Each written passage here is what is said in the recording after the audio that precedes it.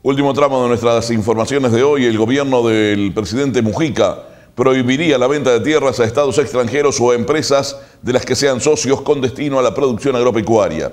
Según adelantó el artífice de este proyecto, el diputado oficialista Hermes Toledo, el primer mandatario se pronunciaría en las próximas horas a favor de su iniciativa. Toledo remarcó que se trata de un proyecto de ley que busca la defensa de la soberanía territorial y alimentaria del Uruguay, así como alentar a que las AFAPs de nuestro país puedan adquirir e invertir en los predios rurales de nuestro territorio. Cabe recordar que en la misma línea el presidente José Mujica había advertido en más de una oportunidad que los estados poderosos como China están invirtiendo sumas millonarias en la compra de tierras de otros países y para eso hay que adoptar medidas preventivas.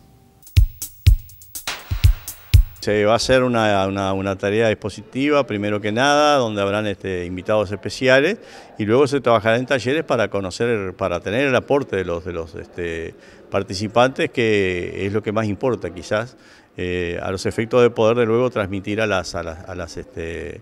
eh, autoridades correspondientes mm, cuáles son las cosas que preocupan realmente a, los productores y cuáles son y difundir aquellas que, no se, que no se conocen a fondo. Este, eso es muy importante. Y paso, si tú me permites, a dar una información. Estamos casi, casi este, por recibir en, la Cámara, este, en la Asamblea General, aquel proyecto de ley que trabajamos mucho en el grupo de agro, que tiene que ver con la prohibición de venta de tierras de Estado extranjero. Eso ha caminado, es decir, ha llevado un proceso largo, pero está, por el dato este oficial que tuve en el día de hoy, en la presidencia de la República para quizás hoy darle ya el visto bueno por parte del presidente y, e inmediatamente ingresaría a la, Asamblea General. ¿Nos puede refrescar en qué consiste el proyecto? El proyecto eh, en grandes líneas consiste en, prohibir la venta de tierras eh, a, estados extranjeros, vale decir a otros países o a sociedades anónimas que tengan este, como socios estados extranjeros eh, es en preservación de la soberanía nacional. Y sabido es que en el mundo han ocurrido, eh, ocurren, están ocurriendo compras, este, e importantes compras de tierra por parte de algunos poderosos estados este, con, capacidad económica como para hacerlo, que en algunas circunstancias pueden llegar a comprarse grandísimas extensiones. Y eso es lo que pretendemos evitar.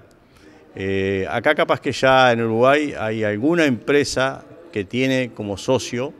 algún estado extranjero, este, bueno, eh, si ya están y, la ley este, les, eh, no les inhabilitó este, la compra en su momento, eh, esta ley no es retroactiva. Pero son realmente muy pocas las empresas,